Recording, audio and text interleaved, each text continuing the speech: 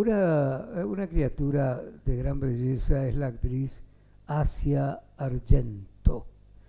Es quizá entre los primeros, el primer grupo de denunciantes acerca de los abusos, extorsiones y violencia sexual eh, cometidos por Harvey Weinstein, el zar de Hollywood, el dueño de los Oscars, mayor productor, fue de los primeros en denunciarlo y inmediatamente se conformó alrededor de Asia Argento, que ahora mm, tiene algo menos de 40 años, un movimiento, el movimiento Me Too, yo también.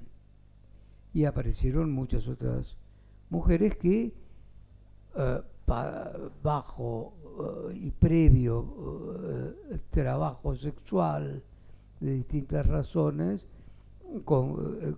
conseguían papeles importantes, premios Oscar, de todo.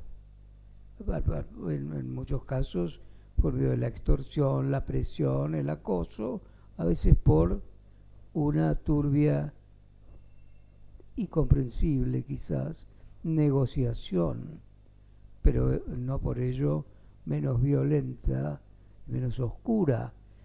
Ahora, eh, claro, es, aquello de que el cazador casado, ¿no?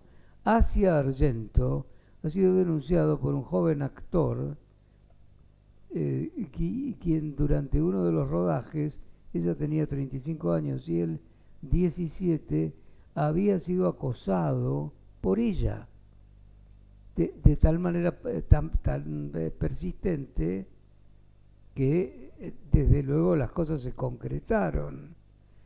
Claro, uno no puede decir, bueno, un muchacho de 17 años y una mujer del porte de Asia Argento, el chico en pleno ebullición de testosterona, no, no se puede considerar una una Blancanieves. Esto no, está bien, pero la ley dice 18 y la ley es la ley.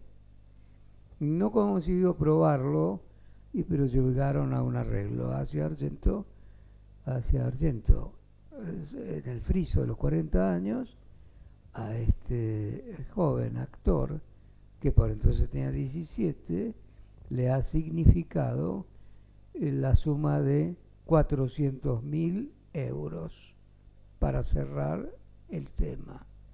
No es bonito, pero tiene una cierta significación.